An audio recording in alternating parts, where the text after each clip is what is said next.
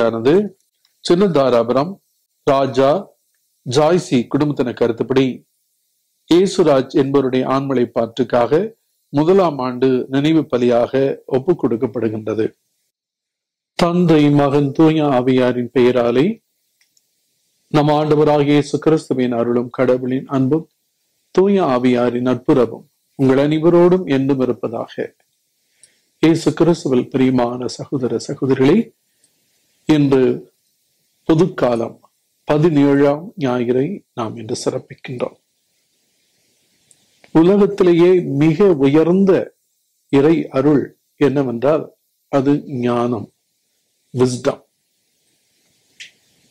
ஞானம்தான் கடவுளுக்கு அடுத்தபடியாக முழு நிறைவையும் பெற்றது. உலகத்தில் இருக்கிற விலை உயர்ந்த எந்த பொருளிலும் மேலானது ஞானம். புதையலை கண்டுபிடித்தவர்கள் அந்த நிலத்தை எல்லா சொத்துக்களை விற்று வாங்கி அதை உரிமையாக்கிக் கொள்வது போல ஞானத்தை தேடினால் கடவுளுடைய முழுமையான அன்பு நமக்கு கிடைக்கும். இத்தகைய உணர்வோடு நாம் திருப்பலியில் கலந்து கொள்வோம். திருப்பலியை தகுந்த முறையில் ஒப்புக் கொடுக்க நம் பாவங்களை ஏற்று மனவருந்தி மன்னிப்பு கேட்போம். எல்லாமல் இறைவனிடமும்.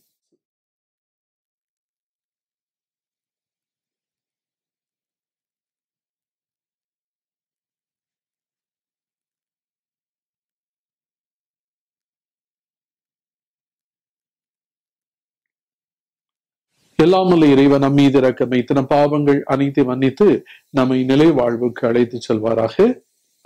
ஆண்டவரை இரக்கமாயிரும். கிறிஸ்துவை இரக்கமாயிரும். ஆண்டவரே இரக்கமாயிரும். உன்னதங்களிலே கடவுளுக்கு மாட்சி உண்டாகுக. உலகினிலே நன்மனத்தோருக்கு அமைதி ஆகுக. உம்மை புகழ்கின்றோம் உம்மை வாழ்த்துகின்றோம் உம்மை ஆராதிக்கின்றோம் உம்மை மாட்சிப்படுத்துகின்றோம். உமது மேலான மாட்சியின் பொருட்டு உமக்கு நன்றி கூறுகின்றோம்.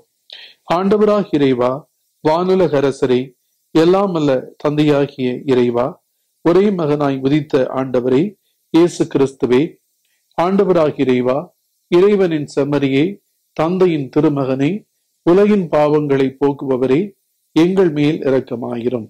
உலகின் பாவங்களை போக்குபவரே எங்கள் மன்றாட்டை ஏற்றலும் தந்தையின் வலப்பக்கம் வீற்றிருப்பவரே எங்கள் மேல் இரக்கமாயிரும்.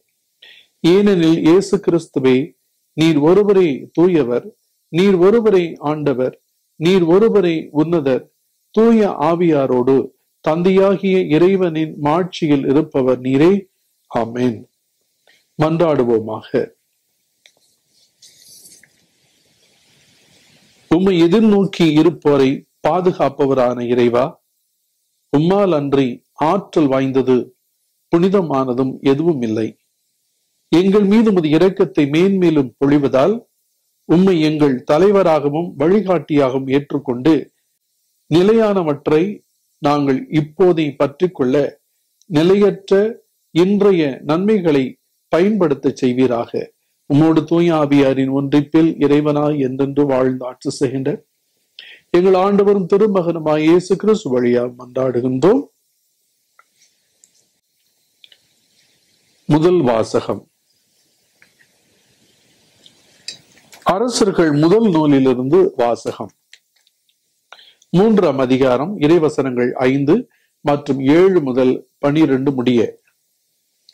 அந்நாட்களில் கிபியோனில் ஆண்டவர் சாலமோனுக்கு கனவில் தோன்றினார்.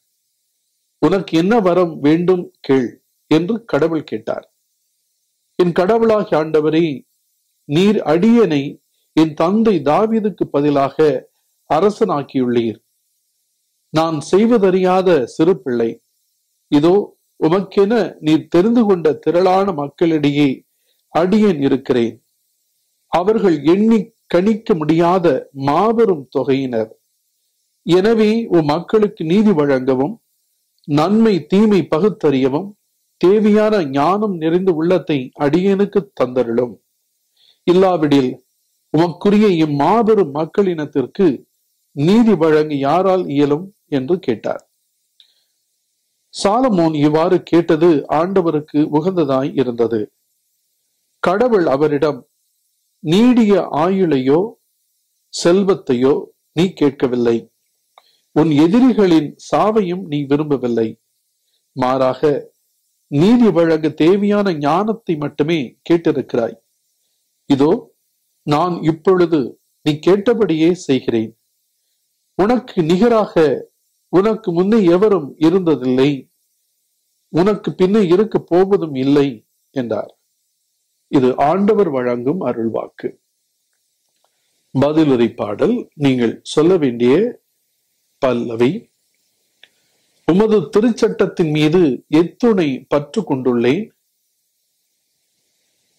மறுபடியும் கூறுகிறேன் திருப்பிச் சொல்லுங்கள். உமது திருச்சட்டத்தின் மீது எத்துணை பற்று கொண்டுள்ளேன். ஆண்டவரே நீரே எனக்குரிய பங்கு. உம் சொற்களை கடைபிடிப்பதாக நான் வாக்களித்துள்ளேன். நீர் திருவாய் மலர்ந்த சட்டம் ஆயிரக்கணக்கான பொன் வெள்ளி காசுகளை விட எனக்கு மேலானது. பல்லவி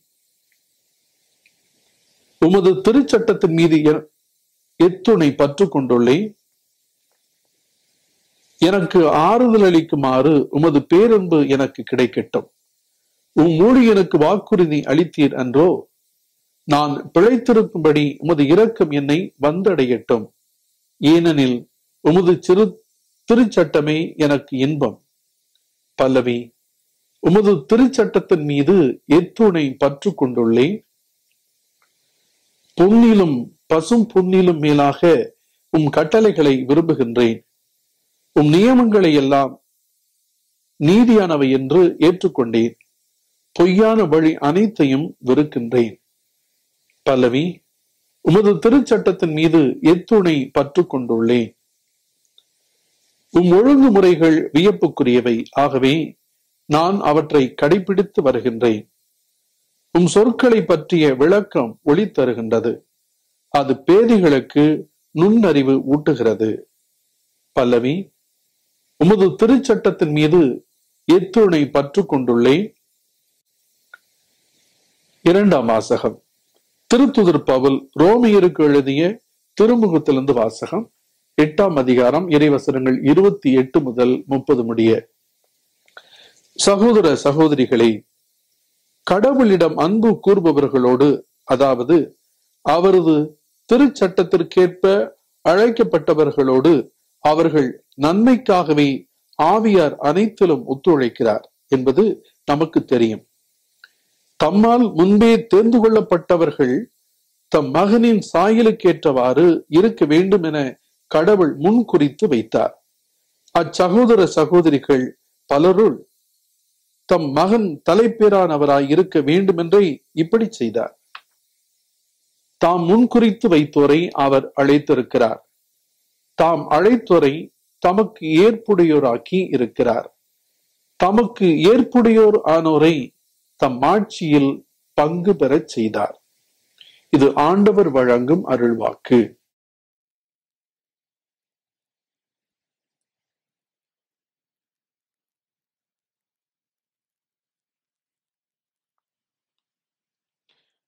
அலேலுயா அலேலுயா தந்தையே விண்ணுக்கு மண்ணுக்கு ஆண்டவரை உமை போற்றுகிறேன். ஏனெனில் விண்ணரசின் மறைப்பொருளை குழந்தைகளுக்கு வெளிப்படுத்தினீர். அல்லேலுயா. ஆண்டவர் உங்களோடு இருப்பாராக. புனித மத்தையு எழுதிய பரிசுத்த நற்செய்தலது வாசகம். பதிமூன்றாம் அதிகாரம் நாற்பத்தி நான்கு முதல் ஐம்பத்தி இரண்டு முடிய. அக்காலத்தில் இயேசு மக்களை நோக்கி கூறியது ஒருவர் நிலத்தில் மறைந்திருந்த புதையல் ஒன்றை கண்டுபிடிக்கிறார். அவர் அதை மூடி மறைத்துவிட்டு மகிழ்ச்சியுடன் போய் தமக்குள்ள யாவற்றை விற்று அந்த நிலத்தை வாங்கிக் கொள்கிறார். விண்ணரசு இப்புதையலுக்கு பாகம் வணிகர் ஒருவர் நல் முத்துக்களை தேடிச் செல்கிறார். விலை உயர்ந்த ஒரு முத்தை கண்டவுடன் அவர் போய் தமக்குள்ள யாவற்றை விற்று அதை வாங்கிக் கொள்கிறார். விண்ணரசு அந்நிகழ்ச்சிக்கு ஒப்பாகும். விண்ணரசு கடலில் வீசப்பட்டு எல்லா வகையான மீன்களையும் வாரி கொண்டு வரும் வலைக்கு ஒப்பாகும் வலை நிறைந்ததும் அதை இழுத்து கொண்டு போய் கரையில் உட்கார்ந்து நல்லவற்றை கூடைகளில் சேர்த்து வைப்பர். கெட்டவற்றை வெளியே எறிவர். இவ்வாறு உலக முடிவிலும் நிகழும். வானதூதர் சென்று நேர்மையாளரிடையே இருந்து தீயோரை பிரிப்பர். பின் அவர்களை தீச்சூளையில் தள்ளுவர். அங்கே அழுகையும் அங்கலாய்ப்பும் இருக்கும். இவற்றையெல்லாம் புரிந்து கொண்டீர்களா? என்று இயேசு கேட்க அவர்கள் ஆம் என்றார்கள். பின்பு அவர் ஆகையால் விண்ணரசு பற்றி கற்றுக்கொண்ட எல்லா மறைநூல் அறிஞரும் தம் கருவூலத்திலிருந்து புதியவற்றையும் பழையவற்றையும் வெளிக்கொணரும் வீட்டு உரிமையாளர் போல் இருக்கின்றனர் என்று அவர்களிடம் கூறினார். இது வாழ்வு தரும் கிறிஸ்துவின் நற்செய்தி. இயேசு கிறிஸ்துவில் பிரியமான சகோதர சகோதரிகளே எந்த ஒரு கடைக்கு நாம் போனாலும் நாம் வாங்க வேண்டிய பொருள் மிக தரமாக இருக்கிறதா என்று பார்ப்போம். அல்லது ஒரு ஷாப்பிங் போவதற்கு முன்னதாகவே நமக்கு என்ன வேண்டும் அந்த பொருள் எங்கே கிடைக்கும் எந்த இடத்துல தரமாகவும் விலை சரியாகவும் இருக்கும் என்று தெரிந்து கொண்டு விசாரித்து விட்டு நாம் அந்த கடைக்கு சென்று நாம் வாங்குவோம். அப்படியே வாங்குற பொழுது எவ்வளவு அதை குறைக்க முடியுமோ விலை குறைந்த நிலையிலே அதை வாங்கலாம் என்று பேரம் பேசுவோம். நல்ல பொருளாக இருக்கும் என்றால் அதுக்கு போட்டி இருக்கும் என்றால் அந்த பொருளை வாங்குவதற்கு எவ்வளவு கொடுப்பதற்கு நாம் தயாராக இருக்கிறோம். இதுதான் புத்திசாலித்தனம். நான் ஒரு காய்கறி வாங்க போயிட்டு வருகிற பொழுது கணவர்கள் வீட்டில வந்து தன் மனைவியிடம் பசை மொழிகளை கேட்பதையும் பார்க்கிறோம். எல்லாம் சொத்த கத்திரிக்காய வாங்கியிருக்கீங்க? முத்துன முண்ட முத்துன வெண்டைக்காயா வாங்கிட்டு வந்திருக்கீங்க. இது சரியில்லை அது சரியில்லை என்று சொல்வார்கள். பொதுவாக கிராமத்து சொல்லுவாங்க அடுத்தவங்க போனா அத்துவானம். தம் மகன் போனா மத்தியமம். தாம் போனா உத்தமம் என்று சொல்லுவாங்க. நாம செய்ய வேண்டிய வேலை வேறு யார்கிட்டயா கொடுக்கணும்னு வச்சுங்களேன் நாம கேட்டுக்கிட்டதுக்காகவே வேண்டாம் வெறுப்பா செய்வாங்க. ஏதோ ஆதாயம் இருந்தா ஏதோ செய்வாங்க. அப்படியே செஞ்சாலும் அது அத்துவானம். அது நம்ம நினைச்ச மாதிரி நடக்காது. அவங்க என்ன சார் செஞ்சு முடிச்சா போதும். சீக்கிரம் முடிச்சுட்டு போயிடுவாங்க. அத்துவானம். அது நம்ப முடியாது. நம்ம நினைச்ச மாதிரி அது நடக்காது. சில சமயம் அது நாம் நினைச்சது ஒன்னா இருக்கும் அவங்க செய்யறது வேறமா இருக்கு அது ரெட்ட ரெண்டு தடவை செய்ய வேண்டியதா இருக்கு தம் மகன் போனா மத்தியமா அப்பா சொல்லிட்டாருங்கிறதுக்காக அப்பா கண்காணிப்பாரு கேட்பாரு திட்டுவாரு அந்த வீட்டுல தானே பிழைக்கணும் அப்படிங்கறதுக்காகவே பயந்துகிட்டு செய்வாங்க. அரைகுறையான ஒரு அறிவோடு செய்வாங்க. மத்தியமம். அரைகுறையா பாதி கிணறு தாண்டுற மாதிரி. சின்ன பிள்ளைங்க வெள்ளாமை வீடு வந்து சேராது. மாதிரி அனுபவம் இல்லாத தம் பையனுக்கிட்ட பயிற்சி கொடுக்கலாம் பழகட்டும் அப்படின்னு சொன்னா பத்தியமா ஓரளவுக்கு செய்வாங்க. ஆனா அடுத்தவங்கிட்ட பொருள் பொறுப்பு கொடுக்கறதையும் தம் மகன்கிட்ட கொடுக்கிற பொறுப்பையும் விட தாம் நாமே அந்த பொறுப்பை எடுத்து செய்தால் உத்தமம் சொல்லுவாங்க. நாம என்ன செய்யணும் எப்படி செய்யணும் என்று நல்லா தெரிஞ்சு புத்திசாலித்தனத்தோடு அனுபவங்களோடு அதை சிறப்பா செய்வோம். நமக்கு நிறைவு வருகிற வரைக்கும் அதை விட மாட்டோம் நாம் சிறப்பாக அதை செய்து ஆக எந்த ஒரு காரியத்திலும் கவனம் தேவை. நம்ம கிராமத்துல எல்லாம் பெரியவங்க எல்லாம் என்ன சொல்லுவாங்க சாப்பிட்டுட்டே டிவி பார்த்துக்கிட்டு இருந்தா திட்டுவாங்க. சாப்பிடும் போதே செல்போன் பார்த்துக்கிட்டு இருப்போம் அல்லது புஸ்தகம் படிச்சுக்கிட்டு இருப்போம் நியூஸ் பார்த்துக்கிட்டு இருப்போம் யார்கிட்ட செல்போன்ல பேசிக்கிட்டு இருப்போம் அப்படியே சாப்பிட்டுட்டு இருப்போம் அம்மாவோ வீட்டுல இருக்கிற பெரியவங்க என்ன சொல்லுவாங்க? டே டிவி ஆஃப் பண்ணு. செல்போன் ஆஃப் பண்ணு. யார்கிட்டயும் பேச. சாப்பிடும்போது சாப்பாடு பார்த்து சாப்பிடு. அப்படின்னாங்க ஏன்னா சாப்பாடு அது உயிர் தரக்கூடியது.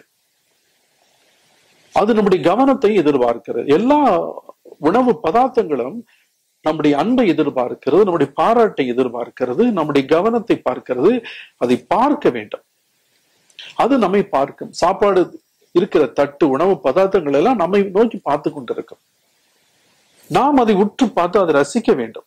ஒவ்வொரு தட்டில பரிமாறுக்கிற எல்லாவற்றையும் ரசித்து பார்க்க வேண்டும். அதனுடைய வண்ணம் அதனுடைய அமைப்பு அதனுடைய வாசனை அதனுடைய சுவை எல்லாவற்றையும் பார்த்து ரசித்து பாராட்டி சாப்பிடுகிற பொழுது அதுவும் மனமகிழ்ச்சியோடு நமக்கு அந்த சாப்பாடு நமக்காக உயிரை கொடுப்பதற்காக வந்திருக்கிறது. அது கவனம் செலுத்தி சாப்பிட வேண்டும். சாப்பிடுகிற பொழுது இன்னொரு கவனம் வச்சுக்கணும். என்ன? நொறுங்க சாப்பிடணும். சாப்பிடுறது வாயில போட்ட உடனே வாயை மூடிக்கொண்ட வேண்டும் நம்முடைய இதழ்களை மூடிக்கொண்டு நம் வாய்க்குள் போடப்பட்ட அந்த உணவை காற்று புகாத வண்ணம் அந்த அறைக்குள்ளேயே பற்களால் கடித்து கூழாக்கி சாப்பிட வேண்டும். அப்பொழுது சாப்பிடுகிற பொழுதே நம் வாயில் இருக்கிற அந்த எச்சில்கள் எச்சில் மற்றும் அதனோடு வருகிற வேதிய பொருட்கள் அனைத்தும் இந்த உணவிலிருந்து அந்த கரைந்திருக்கிற சாப்பாடு கூலாக்கின சமயத்திலே மிக சுலபமாக சத்துக்கள் எல்லாம் எடுத்து எல்லாவற்றை எடுத்துக்கொள்ளும். அன்புக்கினியவர்களே நீங்க ஒரு சிலர் சாப்பிடும்போது பார்த்துருப்பீங்க. கொஞ்சம் சாப்பிடும்போது என்ன செய்வாங்க? கொஞ்சம் தண்ணி எடுத்து ஊத்திட்டு அப்படி உறிஞ்சுவாங்க. அது எதுக்கு சொல்றாங்கன்னா இந்த உதடுகளிலே சுவை நரம்புகள் நிறைய இருக்கு. சுவை நரம்புகள் இந்த உணவு குழாய் இருக்கிற அத்தனை நரம்புகளும் இங்கே நிறைவு பெற்றிருக்கும். இந்த தண்ணீரை எடுத்து நாம் அதை சுவைக்கின்ற பொழுது இந்த நரம்புகள் இருக்கிற முடிச்சுகள் அத்தனையும் ஒரு செய்தியை உடம்பில் இருக்கிற அத்தனை ஜீரண உறுப்புகளுக்கு அனுப்புகிறது. சாப்பாடு வரப்போகிறது சாப்பிட போறாங்க சாப்பாடு வரப்போகிறது நமக்கு தேவையான உணவு வரப்போகிறது என்று சொன்ன உடனே இந்த உணவு குழாயில் இருக்கிற அத்தனையும் இந்த உதட்டுகளிலே இருந்த நரம்பு முடிச்சுகள் அனுப்பிய செய்திகளை மூளை வழியாக நம்ம கொடுத்த அந்த செய்திகளை எல்லாம் அந்த நர அத்தனை ஜீரண உறுப்புகளும் தயாராகி ரெட்டியாக அந்த அதனாலதான் உணவை பார்த்தவுடனே நமக்கு எச்சில் ஊறுகிறது பார்க்கிறோம். அந்த சுவை. ஏற்கனவே நாம் சாப்பிட்ட அந்த சுவையினுடைய ஞாபகம் வந்து அதனுடைய சுவைகளால் நமக்கு வருகிறது. எச்சில் வருகிறது. அப்படி என்றால் நம்முடைய அனைத்து ஜீரண உறுப்புகளும் தயாராக இருக்கிறது. வா. இந்த வடிவேல் க- குதிரையில் வரும்போது எல்லா மக்களும் நின்று வாடா வாடா வாடா வாடான்னு கத்துவாங்களே அது மாதிரி இந்த சாப்பிடு வரக்கூடிய எல்லா உறுப்புகளும் தயாரா காத்துக்கிட்டு இருக்கோம்.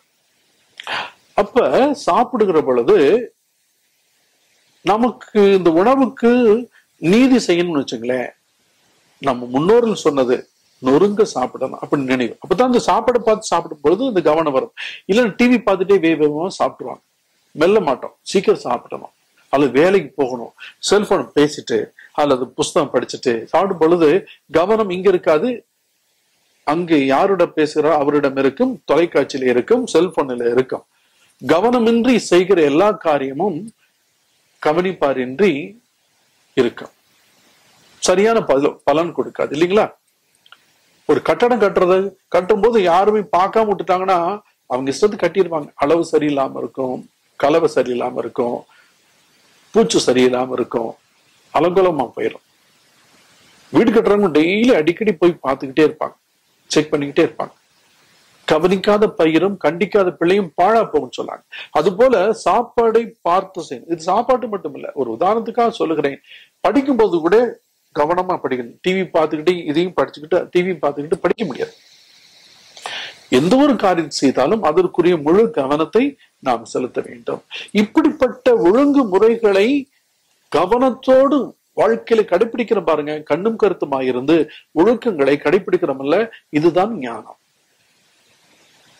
சாப்பாடு போட்ட உடனே நமக்கு இதெல்லாம் சொல்லியிருக்கிறாங்க என்று இதெல்லாம் ஞாபகப்படுத்திட்டு கவனம் வந்துட்டு சாப்பாடு சம்பந்தமா எதெல்லாம் நமக்கு சொல்லியிருக்காங்களோ அதெல்லாம் ஞாபகப்படுத்தி கவனத்தோடு சாப்பாடை பார்த்து சாப்பிடுறாங்க. பாருங்க. அது முழு பலனை கொடுக்கும். நீங்க சாப்பிடும்போது சில பேர் டக் டக் டக் டக் டக் டக் முழு வாயில போடுறது தெரியாது முழுங்குறது தெரியாது. மெல்லவே மாட்டாங்க. அப்படி போயிடும் ஆனா அதுல நிறைய சாப்பிடுவாங்க. நிறைய சாப்பிடுவாங்க. பருப்புல பருப்பு சாப்பாடு சாம்பார் புளிக்குழம்பு மோர் குழம்பு ரசம் தயிர் அப்பளம் பிளஸ் அந்த காய்கறிகள் எல்லாம் சாப்பிடுவாங்க இதெல்லாம் இத்தனை சாப்பிடுகிற பொழுது இது இந்திய தமிழ் பாரம்பரியத்துல சாப்பிடுகிற பொழுது வேகமாக சாப்பிடுவாங்க அது பந்தியில எல்லாம் உட்கார்ந்துட்டு இருக்கும்போது நம்ம நல்லா சாப்பிடணும் நீங்க நல்லா சாப்பிடுவாங்க மெல்லவே மாட்டாங்க. ஒரு பிரயோஜனம் இல்லை. நேரா போய் வெளியிடத்துக்கு போய்விடும். ஆனா அதே வேளையில முன்னோர்கள் என்ன சொல்லிக்கிறாங்க கொஞ்சம் சாப்பாடு எடுத்தாலும் அது நல்ல சாப்பாடை குடிக்கணும். அந்த சாப்பாடை மின்னு சாப்பிடுகிற பொழுது கொஞ்சம் சாப்பிட்டாவே போதும். இந்த உடம்புக்கு வேண்டிய அத்தனை சத்துக்களையும் மிக விரைவாக சுலபமா எடுத்து விட்ட பிறகு இந்த உடம்பு தானாகவே எனக்கு சாப்பாடு வேண்டாம் போதும் என்ற ஒரு செய்தியை நமக்கு தந்துவிடும். அதுக்கு மேல நம்மளால சாப்பிடவே முடியாது. ஆனா வேவா சாப்பிடுகிற பொழுது பாத்தீங்கன்னா இந்த ஜீரண உறுப்புகள் எல்லாம் முழிச்சுக்கிட்டு என்ன செய்யலாம்னு யோசிக்கிற பொழுது டக்குன்னு வெளிக்க போயிடும் வாயில போடுறதுல அஹ், டக்குன்னு கீழே போயிடும் வயிற்றுக்குள்ள போயிடும் வேற எந்த ஒரு பிரயோஜனமே இல்லாம போயிடும் இதப்படி அணு அணுவாக நாம் செய்கிற பொழுதுதான் நாம் ஞானம் நிறைந்தவர்களாக இருக்கிறோம். ஒரு செடி வளரும்னா ஒரு விதைய போடுறோம் மா விதை போடுறோம். பத்தே நாள்ல ஒரு பெரிய மரமா வந்து காணி கொடு கனி கொடுக்காது இல்லைங்களா? ஒவ்வொரு வினாடியும் ரசித்து ருசித்து வளரும்.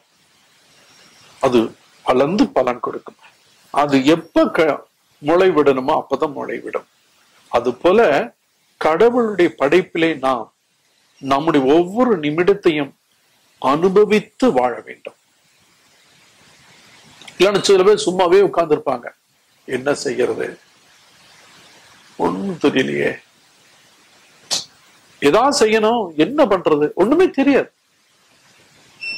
இதுவரைக்கும் அவங்க செஞ்சு பழகி இருந்தா தான் ஏதாவது செய்ய முடியும். இதெல்லாம் செய்யாத பொழுது அவங்களுக்கு எதுவுமே ஞாபகத்தில் வராது. இன்று நற்செய்தியிலே ஆண்டவர் அதான் சொல்கிறார் விண்ணரசு என்பது என்ன? நல் வாழ்க்கை. விண்ணரசு செத்த பிறகு போறதில்லை. இங்கேயே கடவுளுடைய பிள்ளைகளாக வாழ்ந்தால் கடவுளுடைய கட்டளைப்படி வாழ்ந்தால் அதுதான் இறையரசு. கவனம் செலுத்தி நம்முடைய பணிகளை சிறப்பாக செய்ய வேண்டும். சாலமும் கடவுளிடம் உனக்கு என்ன வர வேண்டும்? கடவுள் கேட்டவுடனே அவர் ஞானத்தை கேட்டார். நீர் எனக்கு கொடுத்திருக்க இந்த மக்களை நன்மை தீமை பகுத்தறியும் ஆற்றலை கொடுத்து அவர்களை நீதியோடு வழிநடத்தக்கூடிய ஞானத்தை எனக்கு தாரும் என்று சொன்ன கேட்கிறார். கடவுள் மிகவும் சந்தோஷப்படுகிறார். அவருக்கு எல்லாவற்றையும் கொடுக்கிறார். இதுவரைக்கும் கேட்காத அனைத்தையும் செல்வங்கள் அனைத்தையும் கொடுக்கிறார். சாலமணி ஞானம் புத்தகத்துல ஏழாம் அதிகாரம் இருபத்தி எட்டாம் வசனத்துல கடவுள் ஞானம் எங்க இருக்கிறதோ அதன் மீது மிகுந்த அன்பு வைத்திருக்கிறார். ஞானத்தோடு வாழ்கிறவர்கள் ஞானத்தை கேட்கிறவர்கள் ஞானத்தை விரும்பி தேடி வாழ்கிறவர்கள் மீது அளவில்லாத அன்பு கொண்டவராக இருக்கிறார் என்று இந்த வசனம் கூறுகிறது.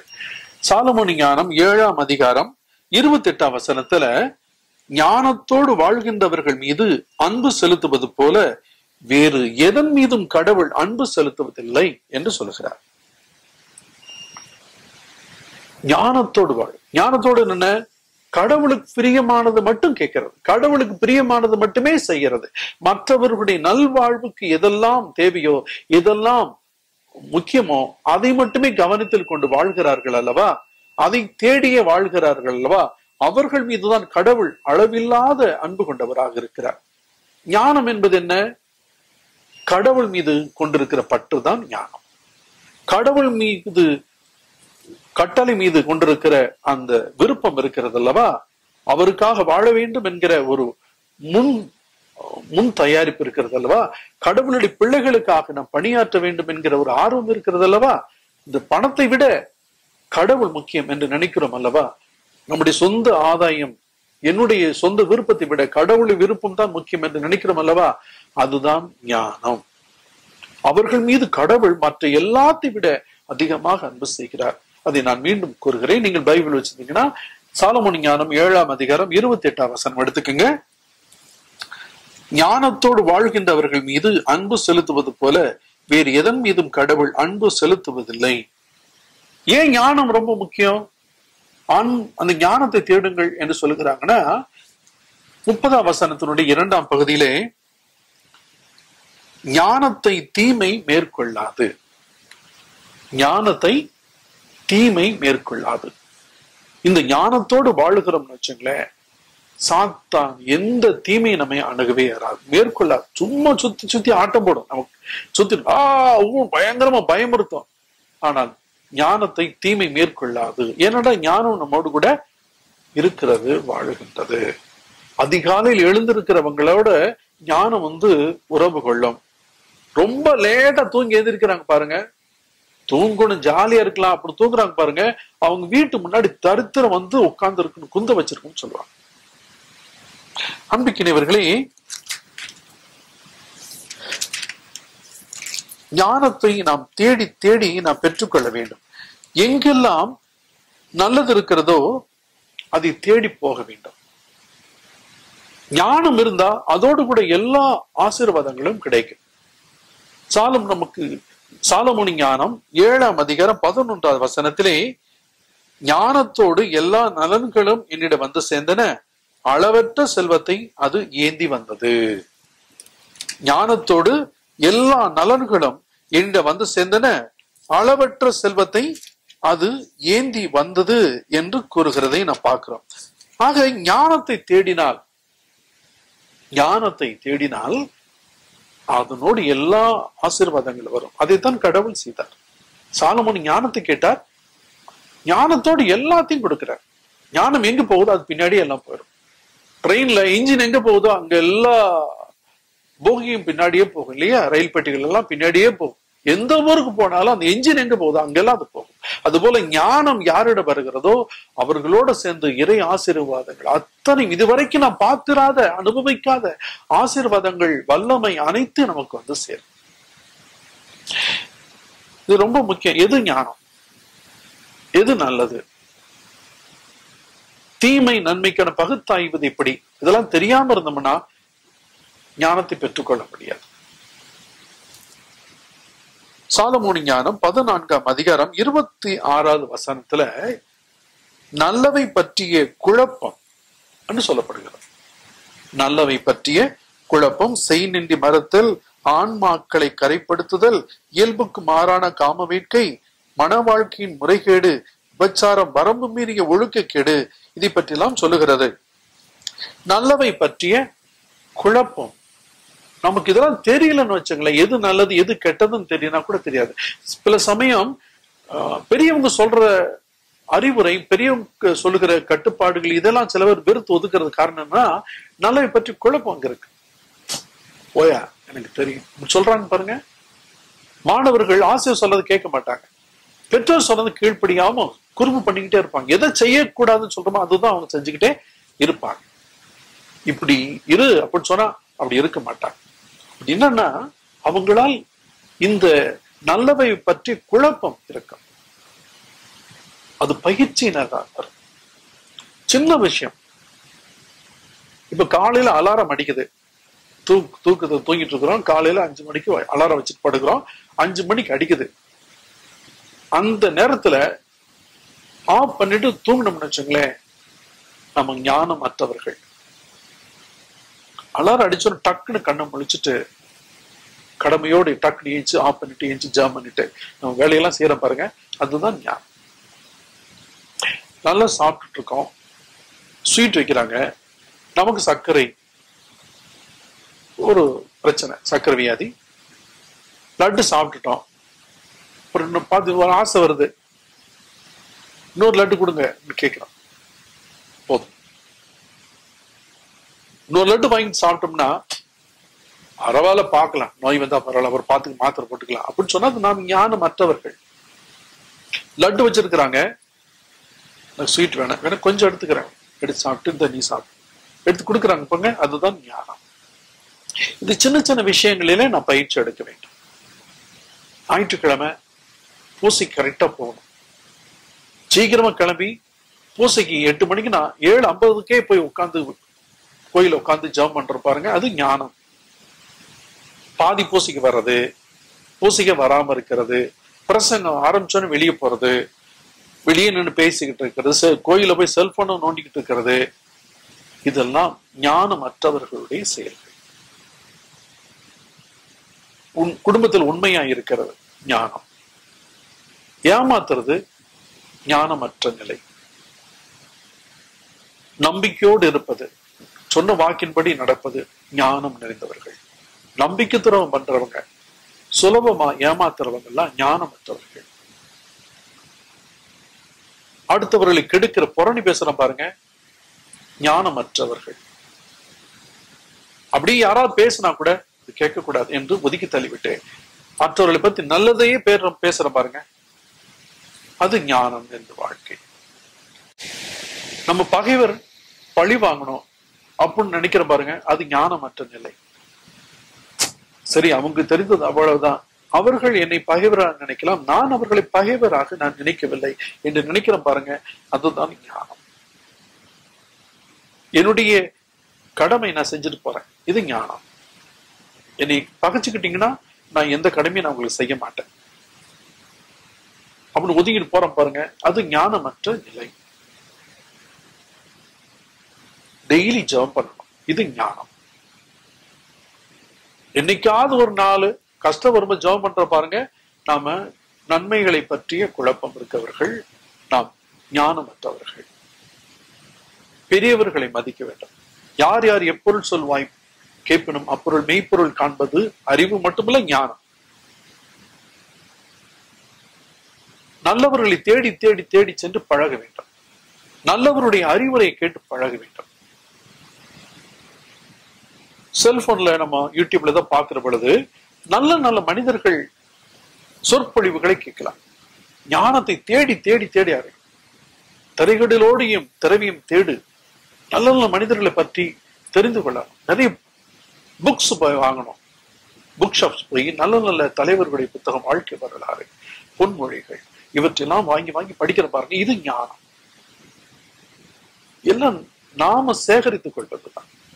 நம்முடைய எதிர்காலத்தை ஒவ்வொரு நிமிடமும் நாம் கட்டமைக்கிறோம்.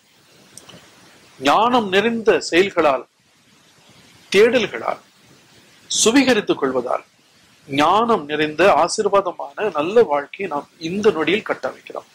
ஒவ்வொரு நொடியிலும் நாம் எதை தெரிந்து கொள்கிறோம் என்பதை பொறுத்துதான் நம்முடைய எதிர்காலம் இருக்கும். இப்ப சோம்பரியா இருந்தா பின்னாடி வறுமையில் இருக்கும். இன்று கடினமாக உழைத்து ஞானத்தோடு விவரமா? கடவுளுக்கு பயந்து கடவுளுடைய சட்டத்திட்டங்களுக்கு பயந்து எல்லோரையும் மதித்து நல்லதே செய்து கொண்டு போனால் ஆண்டவர் நமக்கு ஆசீர்வாதங்களை கொடுப்பார். இதுவரைக்கும் நமக்கு கிடைக்காத ஆசீர்வாதங்கள் அனைத்தையும் கொடுப்பார். ஞானத்தை தேடினால் எல்லா வளமும் நலமும் நம்மிடம் வந்து சேரும். ஞானத்தோடு எல்லா நலன்களும் என்னிடம் வந்து சேர்ந்தன. அளவற்ற செல்வத்தை அது ஏந்தி வந்தது என்று திரு சாலமோனி ஞானம் ஏழாம் அதிகாரம் பதினொன்றாம் வசம் சொன்னது போல நம்முடைய வாழ்க்கையிலே நிச்சயம் நடைபெறும். ஜெபிப்போம். எங்கள் அன்பின் பரலோக பிதாவே ஒன்று குருந்தியர் ஒன்றாம் அதிகாரம் முப்பதாவது வசனத்திலே கிறிஸ்துவே கடவுளிடமிருந்து நமக்கு வரும் ஞானம் என்று சொன்னது போல இயேசு கிறிஸ்துவை உம்முடைய ஞானத்தை எங்களுக்கு வழங்கி அந்த ஞானத்தை ஒவ்வொரு நாளும் தேடி அவரோடு உறவு கொண்டு வாழ்ந்து நாங்கள் ஞானம் நிறைந்தவர்களாக மிகுந்த கனி தரக்கூடியவர்களாக அந்த கனிகள் நினைத்திருக்கக்கூடியதாக இருக்க எங்களுக்கு அருள்தார். இந்த மன்றாட்டுகள் எங்கள் ஆண்டவரும் திருமகனுமா இயேசு கிறிஸ்து வழியா பார்த்து மன்றாடுகின்றோம்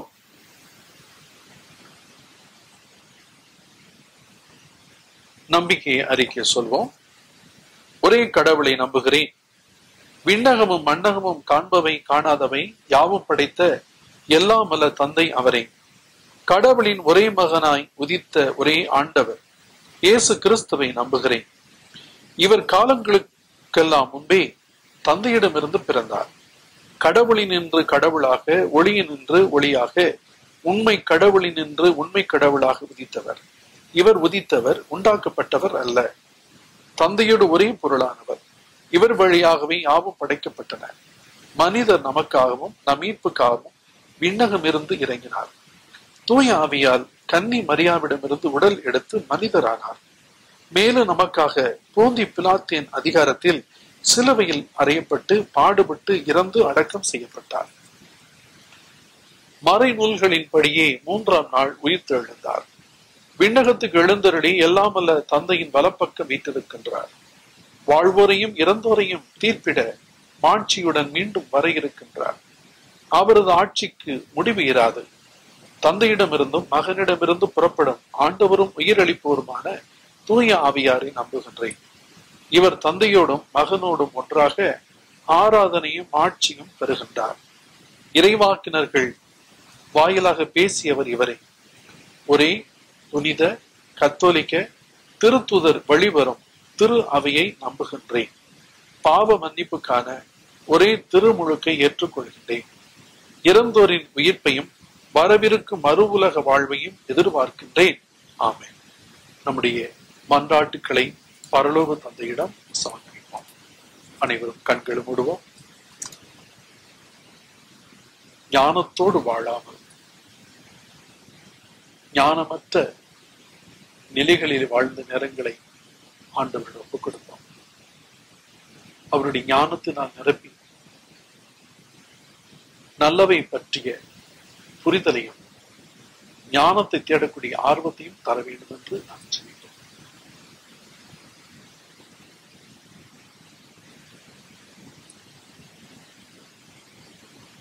நான் ஒவ்வொரு கருத்தாக சொல்ல சொல்ல நீங்கள் கண்டுபிடி ஜபிக்குமாறு அன்போடு கேட்டுக்கொள்கிறேன் நம்முடைய பரிசுத்த பாப்பரசர் ஆயர்கள் குருக்கள் துறவரத்தார் அனைவருக்காக ஜெபிப்போம்.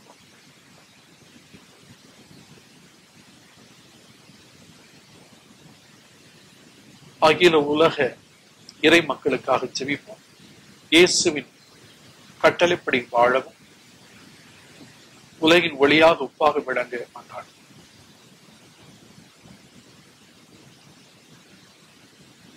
நாம் ஒவ்வொருவரும் நம்முடைய மறை மாவட்ட ஆயர் குருக்கள் துறவரத்தால் இறை மக்களுக்காக ஜெயிப்போம்.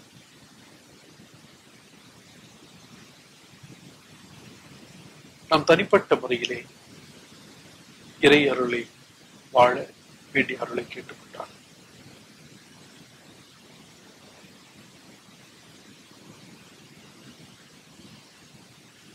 மன்றாடுவோமாக. எங்கள் நல்ல தகப்பன் இறைவா நீர் எங்களை ஞானத்தோடு வாழ்வதற்காக அழைத்திருக்கிறீர். அதற்கு தேவையான வரங்களை உடைய திருச்சபைக்கு நிறைவாக தந்து உடைய சித்தப்படி வழிநடத்த அருள் தாரும். நம்ம அந்த ஆட்டுக்களை எங்கள் ஆண்டவராக கிறிஸ்து வழியா பார்த்து கொண்டாடுகின்றோம்.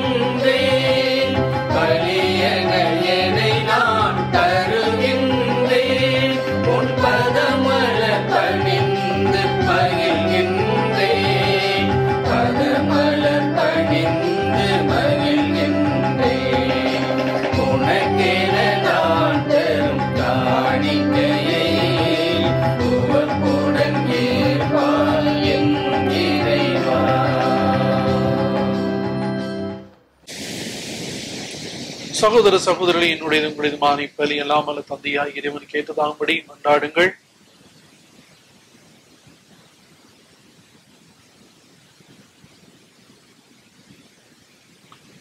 ஆண்டவரை நீர்தாமை வாரி வழங்கிய கொடைகளிலிருந்து நாங்கள் கொண்டு வரும் இக்காணிக்கைகளை ஏற்றரிடும் அதனால் நமது அருளின் ஆற்றலால் செயல்படும் இப்புனிதமிக்க மறை நிகழ்வுகள் இவ்வுலகில் எங்கள் வாழ்வை புனிதப்படுத்தி நிலையான பேரின்பத்துக்கு இட்டுச் செல்வனவாக எங்கள் ஆண்டவராக கிறிஸ்து வழியா கொண்டாடுகின்றோம் ஆண்டவர் உங்களோடு இருப்பாராக. இதயங்களை மேலே எழுப்புங்கள். நாம் இறைவனாக ஆண்டவருக்கு நன்றி கூறுவோம். ஆண்டவரை தூயவரான தந்தையே என்றும் உள்ள எல்லாம் அல்ல இறைவா. எந்நாளும் இவ்விடத்தில் நாங்கள் மக்கள் நன்றி செலுத்துவது. மெய்யாகவே தகுதியும் நீதியும் ஆகும் எங்கள் கடமையும் மீட்புக்கு உரிய செயலும் ஆகும் நாங்கள் வாழ்வதும் இயங்குவதும் இருப்பதும் உண்மையிலேதான். இந்த உடலோடு வாழ்க்கையில் உமது பரிவிறக்கத்தின் பயன்களை மட்டுமே நாள்தோறும் நாங்கள் அனுபவிப்பதோடன்றி இப்பொழுது நிலை வாழ்வின் பிணையையும் கொண்டுள்ளோம். ஏனெனில் உம் ஆவியாரின் முதற்கனிகளை பெற்றுள்ள நாங்கள் பாஸ்கா மறை நிகழ்வின் பயன் எங்களுக்கு என்றும் உண்டு என நம்புகின்றோம். அந்த ஆவியார் வழியாகவே நீர் இயேசுவை சாவி நின்று உயிர்த்தெழச் ஆகவே நாங்கள் வானப்புதர் அனைவரோடும் சேர்ந்து உம்மை புகழ்ந்தே தாக்களித்து கொண்டாடி ஆர்ப்பரித்து சொல்லுவதாவது.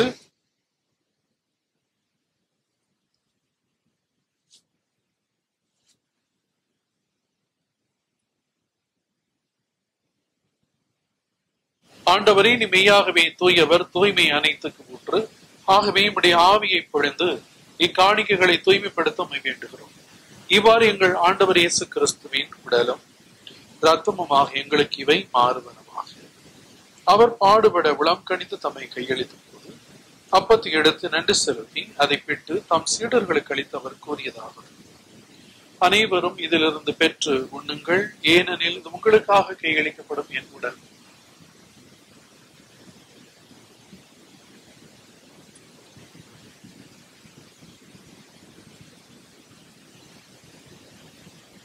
அவ்வளவு இரவு விருந்தை அறிந்து இவன் கிணத்தையும் எடுத்து மீண்டும் கிணட்டி கூறி தம் சீடர்களுக்கு அளித்தவர் கூறியதாக. அனைவரும் இதிலிருந்து பெற்று பருகுங்கள். ஏனெனில் இது புதிய நிலையான உடன்படிக்கைக்குரிய என் ரத்தத்தின் கிண்ணம் இது பாவ மன்னிப்புக்கென்று உங்களுக்காம் பலருக்காம் சிந்தப்படும் இதை என் நினைவாக செய்யும்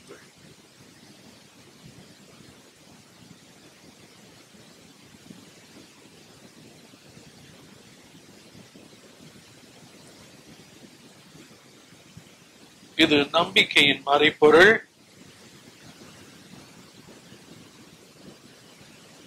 ஆகவே ஆண்டவரே நாங்கள் கிறிஸ்துவின் இறப்பினையும் ஈப்பினை நினைவு கூர்ந்து வாழ்வு தரும் அப்பத்தை மீன்பளிக்கும் கிண்ணத்தையும் ஒப்புக் கொடுக்கின்றோம் உம் துருமு நின்று உமக்கு ஊழியம் புரிய தகுந்தவர்கள் எங்களை ஏற்றுக்கொண்டு இறைமை மிக்க நன்றி செலுத்துகிறோம். மேலும் கிறிஸ்துவின் உடலிலும் ரத்தத்திலும் பங்கு கொள்ளும் எங்களை தூய ஆவியார் ஒன்று சேர்க்க வேண்டும் என்ற தாழ்வுடன் மன்றாடுகிறோம். ஆண்டவரை உலகுக்கு பரவி இருக்கும் உத்துறவையின் நினைவு கொண்டுள்ள எங்கள் திருப்பதி பிரான்சிஸ் எங்கள் ஆய தாமஸ் அக்வைனா ஏனைய ஆயர்கள் இப்படி மறைமாவட்ட ஆயர்களுக்காக சிறப்பாக ஜெபியுங்கள். எல்லா துரு நிலையினராகிய அனைவரோடும் துரு அவை அன்பில் நிறைவேற செய்கிறோம். மேலும் உயிர் தழும் எதிர்நோக்குடன் துயில் கொள்ளும் எங்கள் சகோதர சகோதரி. நீர்வலையில் நம்மிடம் அழைத்துக் கொண்ட ஏசு நீர் இவ்வுலகில் நம்மிடம் அழைத்துக் கொண்ட இயேசுராஜ் என்பவர் நினைவு கொண்டிருளும் திருமகனோடு அவரது இறப்பில் இணைக்கப்பட்டிருந்த இவர் உயிர்ப்பிலும் அவரை போல இருக்க மேலும் உயிர் தொழிலும் எது நோக்குடன் துயில் எங்கள் சகோதர சகோதரி கண்கள் இப்படி இருந்தால் இவருக்கு முக்கியமாக யாரும் நினையாத மக்கள் உத்தரிக்கிற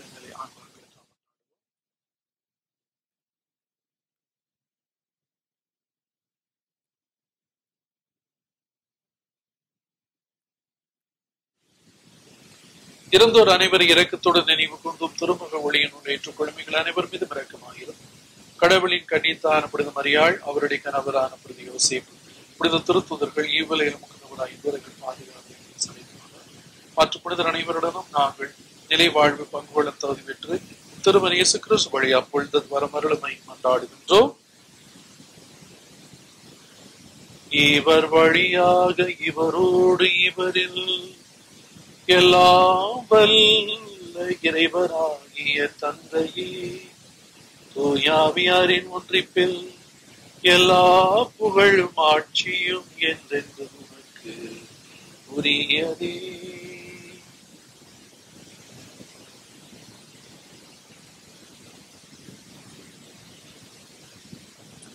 மீன்பறி கட்டளையால் கற்பிக்கப்பட்ட தெய்வ படிப்பினியால் பயிற்சி பெற்று நாம் அனைவரும் மகிழ்ந்து ஜெயிப்போம். விண்ணுலகில் இருக்கிற எங்கள் தந்தையை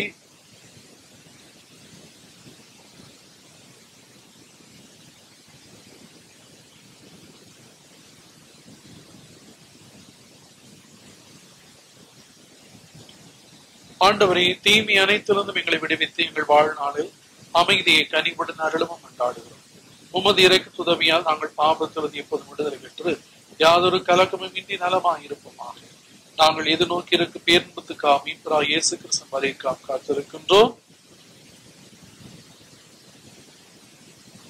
ஆண்டவரை இயேசு கிறிஸ்துவே அமைதியை உங்களுக்கு விட்டுச் செல்கிறேன். என் அமைதியையே உங்களுக்கு அளிக்கிறேன் என்று உம் திருத்தூதர்களுக்கு உழைக்கிறேன் எங்கள் பாவங்களை பாராமல் உமது திரு அவையை நம்பிக்கையை கண்ணோக்கி உமது திருவுளத்துக்கு ஏற்பதற்கு அமைதியையும் ஒற்றுமையும் அளித்திருக்கிறார். என்னும் வாழ்வு ஆட்சி செய்கின்றவர் நீரே. ஆண்டவருடைய அமைதி உங்களோடு என்றும் இருப்பதாக ஒருவருக்கொருவர் கிருசனம் இதை உலகின் பாவங்களை போக்கும்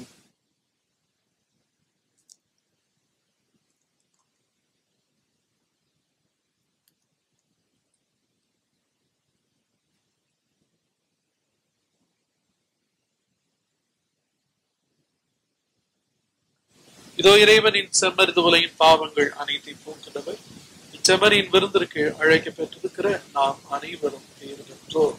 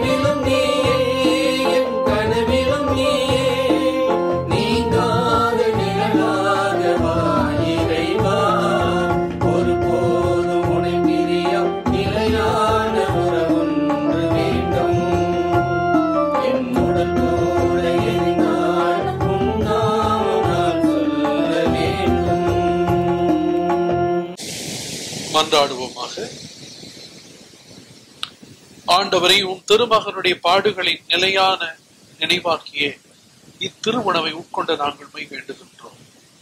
இவ்வாறு சொல்லற்கரிய அன்பினால் அவரே எங்களுக்கு அளித்துள்ள இக்கொடை எங்கள் மீட்புக்கு பயன்பட அருள்வீராக. என்னென்று வாழ்ந்து ஆட்சி செய்கின்ற அவர் வழியாக கொண்டாடுகின்றோம். ஆண்டவர் உங்களோடு இருப்பாராக. எல்லாம் உள்ள இறைவன் தந்தை மகன் தூய் உங்கள் அனைவரையும் ஆசிர்வத்து காத்திருவாராக சென்று பாருங்கள். திருப்பதி நிறைவேறிட்டு தீய ஸ்தோதி கூறிய பரிசுத்த நற்கருணைக்கு பக்தியாய் எத்திசையும் அச்சிட அச்சிட்ட சிலுவை அடையாளத்தினாலே சத்தியங்கள் வெளிச்சத்திலும் எங்கள் சர்வேஸ்வரா தந்தை மருத்துவ ஆவியார் வீராலே பிரைசலோ ஹalleluya இயேசுவே ஆண்டவர் மரியை வாழ்க. அருள் நிறைந்த மரியை வாழ்க. ஆண்டவர் உடனே பெண்களுக்குள் ஆசீர்வதிக்கப்பட்டவர். இறைவனுடைய திருவையின் கனியாக இயேசு ஆசீர்வதிக்கப்பட்டவரே. புனித மரியை இறைவனின் தாயே பாவிகளாக இருக்கிற எங்களுக்காக இப்பொழுது நீங்கள் இறப்பின் வேளையிலும் வேண்டிக் கொள்ளும் தந்தைக்கும் அவருக்கு தூய் ஆவியாருக்கு உண்டாவதாக. தொடக்கத்தில் இருந்தது அனைத்து புனிதர்களே புனிதையர்களே புனித சலேத் மாதாவே